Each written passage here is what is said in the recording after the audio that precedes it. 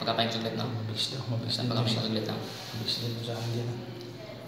Sikweta ka, Idol Benji. Ha? Sikweta pa? Sige. Na? Oo, sige. Na. Sikwenta.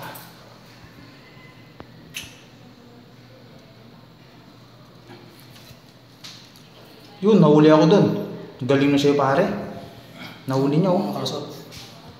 Makalusot maganda para para para malaman nahuli oh. Galing niya pares. 10 si mawala ka. Yun! Yun! Yun! Ay! Yun! Pusad!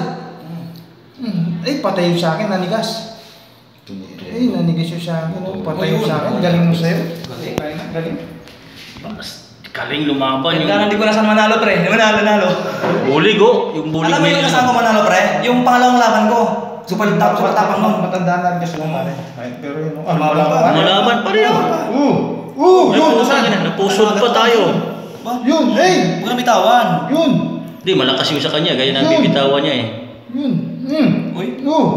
Tapang oh! Grabe, tapang yung kay Oh, Brexon. yun. Oh. Patay pa natin. Ayan na. Balutin mo na. Ayan na. Bakit? Huwag na bitawan. Yan, bitawan niya. Binibitawan niya eh. Galing! Binibitawan niya eh, no? Laki pala sa'yo pre. Laki yan. Oo, tinan mo naman. Laki. Tingnan mo yung kamay. Tingnan mo yung kamay. Mababa siya pare. Laki sa'yo pre. Tingnan mo yung kamay. Mababa siya. Mababa siya yan. Yung Malaki braso. ang niyan. Binitawan pa niya eh. Hindi niya kaya kasi malaki yung braso Oo. nito. Tingnan mo. Sugatan pa tuloy siya. Ang daming sugat. Halabang pa yan. Hindi ka makasigurado dyan. Patay na. Usod siya. Sinipsip na eh. Tibay ng gamba mo ah. Daming tama ah. Ang galing. Ano po? Parang yung ano, kung sigang fight no? Ang daming tama. Galing lumalaban. Galing yung bulig niya. Ano, vlogger oh. Vlogger lang malakas.